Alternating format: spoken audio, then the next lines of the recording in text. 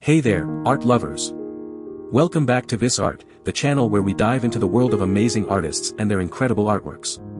Today, we're going to explore the beautiful creations of Daniel Garber, an American Impressionist landscape painter.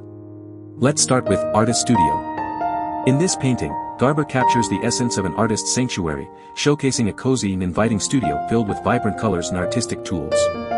Moving on to From Goat Hill, Garber transports us to a serene countryside scene. The painting beautifully portrays the rolling hills and lush greenery, inviting us to take a peaceful stroll through nature.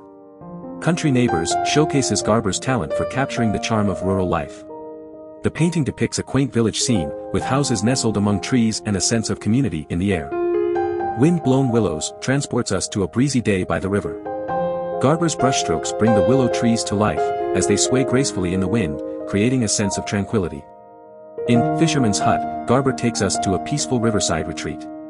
The painting showcases a humble hut surrounded by nature, inviting us to imagine the stories of the fishermen who once called this place home. Old Man in the Pipe captures a quiet moment of reflection. Garber's attention to detail brings the old man's face to life, as he puffs on his pipe, lost in his own thoughts. Willows, Noon transports us to a sunny afternoon by the river. Garber's use of light and shadow creates a mesmerizing play of colors, as the willow trees cast their graceful reflections on the water. Landing at Bloomsbury takes us on a journey along the Delaware River. Garber's skillful brushwork captures the movement of the boat as it docks at the picturesque town of Bloomsbury. In Reading, Garber invites us into a cozy interior scene. The painting showcases a woman engrossed in a book, surrounded by warm colors and a sense of peaceful solitude. Early Spring New Hope celebrates the beauty of the changing seasons. Garber's vibrant brushstrokes bring the blossoming trees to life, as nature awakens from its winter slumber. Early corn captures the essence of a bountiful harvest. Garber's attention to detail allows us to almost smell the fresh corn, as it stands tall in the golden fields. Uplands, November, showcases Garber's ability to capture the beauty of autumn. The painting portrays the vibrant colors of the changing leaves, as they create a stunning contrast against the clear blue sky. Canal Bridge, Smithtown, takes us on a journey through a charming town.